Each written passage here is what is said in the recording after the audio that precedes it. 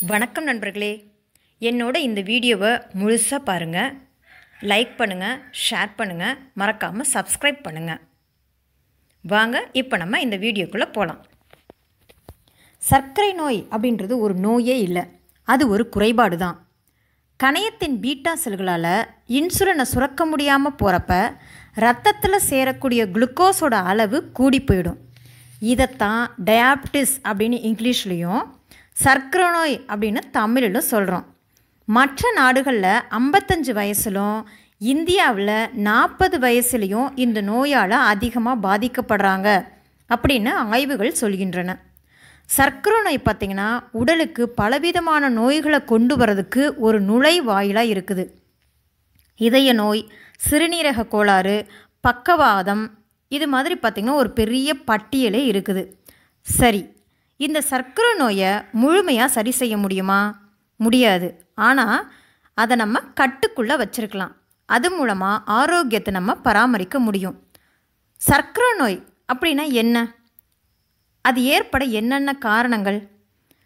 சர்க்கரை நோயை தவிர்க்கணும் அப்படின்னா எந்த மாதிரி உணவுகள்லாம் சாப்பிடணும்? அதை பற்றி இந்த நம்ம வீடியோவில் பார்க்கலாம் முதல்ல. சர்க்கரை நோய்க்கு ரெண்டு வகை இருக்குது. ஒன்று டைப் ஒன்று டைப் டூ அப்படின்னு சொல்லுவாங்க.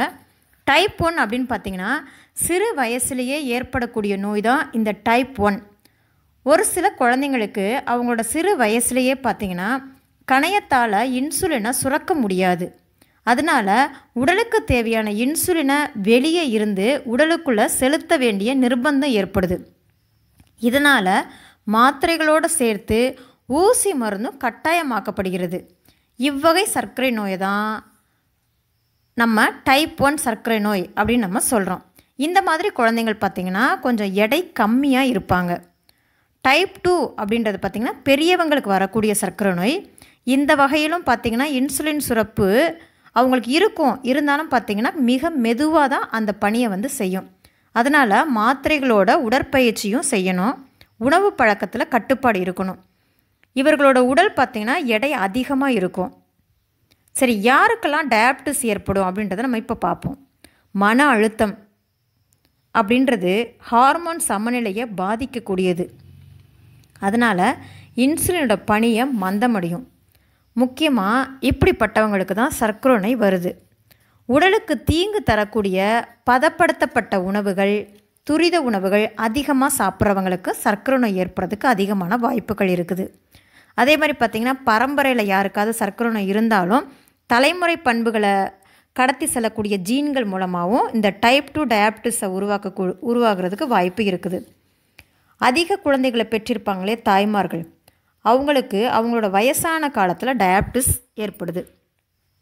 சில சமயங்களில் பார்த்திங்கன்னா காயங்களாலோ இல்லை அறுவை சிகிச்சையின் போதோ சில நோய் தொற்றுக்கள் ஏற்படுத்த ஏற்படு ஏற்பட்டு ஹார்மோன்களை பாதிக்கிறனால சுரப்பிகளோட பணி நின்று போயிடுது.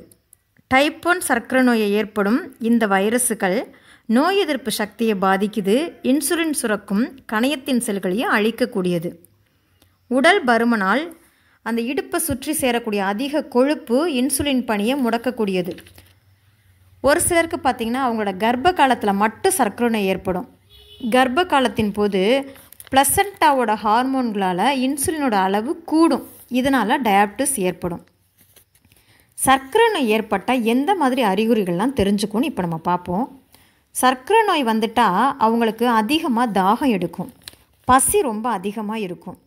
அடிக்கடி சிறுநீர் கழிக்கணும் அப்படின்ற உணர்வு ஏற்படும். எடை ஒன்று அவங்களுக்கு ரொம்ப அதிகமாகும் இல்லைன்னா எடை குறையும்.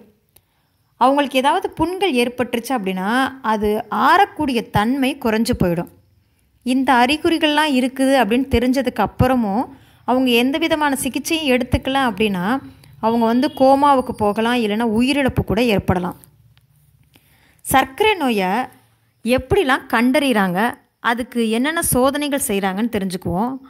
முதல்ல பார்த்திங்கன்னா சிறுநீர் சோதனை. அதாவது இந்த சிறுநீர் சோதனையை வெறும் வயிற்றிலும் சாப்பிட்டு ஒரு ரெண்டு மணி நேரம் கழிச்சும் சிறுநீர் சாம்பிளை எடுத்து டெஸ்ட்டு செய்வாங்க. இது அந் அவங்களுக்கு இருக்கக்கூடிய நோயோட தாக்கத்தை பொறுத்து ப்ளஸ் முதல் ப்ளஸ் ப்ளஸ் ப்ளஸ் வரை குறிப்பிடப்படும். அதுக்கப்புறம் பார்த்திங்கன்னா ரத்த பரிசோதனை. இதில் ரத்தத்தோட சாம்பிளை வெறும் வயிற்றுலையும் சாப்பிட்டு ஒரு ரெண்டு மணி நேரம் கழிச்சும் எடுத்து டெஸ்ட் செய்வாங்க. இதில் அவங்க கணக்கிடப்படும் அளவு வந்து நூற்றி பத்து மில்லிகிராம் பர் டெசி லிட்டர்லேருந்து நூற்றி பத்து மில்லிகிராம் பர் டெசி லிட்டருக்குள் அதுக்கு அதிகமாக இருந்துச்சு அப்படின்னா அவங்களுக்கு டயாபிட்டிஸ் இருக்குது அப்படின்னு அர்த்தம். இன்னொன்று பார்த்திங்கன்னா Hb A one C test இதுவும் பார்த்திங்கன்னா ரத்த பரிசோதனை தான். இதோட மதிப்பு பார்த்திங்கன்னா ஏழு அல்லது அதுக்கு கீழே இருந்ததுன்னா அவங்க வந்து நார்மலானவங்க. அதை விட அதிகமாக இருந்ததுன்னா அவங்களுக்கு டயாபிட்டிஸ் இருக்குது அப்படின்னு அர்த்தம். இந்த மாதிரி டயாப்டிஸ் பேஷண்ட்ஸ் பார்த்திங்கன்னா உணவு முறையில் கட்டுப்பாடோடு இருக்கணும். எளிய உடற்பயிற்சி செய்யணும். இன்சுலின் ஊசி மருந்தோட மாத்திரைகளும் எடுத்துக்கணும். அவங்க உணவில் பார்த்திங்கன்னா கீரை சூப்பு லெமனு ஆனியனு புதினா வெண்ணெய் நீக்கப்பட்ட மோர் நட்ஸு ஸ்பைசஸ் இதெல்லாம் அடிக்கடி சேர்த்துக்கணும்.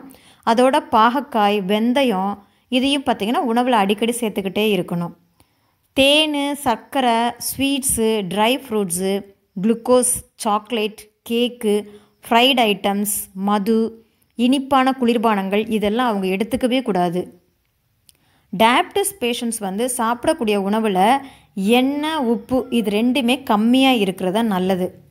கொழுப்பு உணவை அவங்க சாப்பிடவே கூடாது. தண்ணி நிறைய குடிக்கணும். காய்கறிகளை பார்த்திங்கன்னா அதிகமாக வேக வச்சுட்டா அதில் இருக்க சத்துக்கள்லாம் வெளியேறிடும். அதனால் காய்கறிகளை அளவோடு வேக வச்சு அதோட சத்து அவங்களுக்கு முழுசாக கிடைக்கிற மாதிரி அவங்க சாப்பிடணும். மூணு மாதத்துக்கு ஒருக்க அவங்களோட சுகர் லெவல் என்ன அப்படின்றத அவங்க செக் பண்ணிக்கிட்டே இருக்கணும். ஒவ்வொரு மாதமும் அவங்க வெயிட்டு செக் பண்ணிகிட்டே இருக்கணும். இதையெல்லாம் அவங்க சரிவர கடைப்பிடிச்சாங்க அப்படின்னா சர்க்கரை நோய் அப்படின்றது ஒரு பிரச்சனைக்குரிய நோயாகவே இருக்காது. நன்றி நண்பர்களே.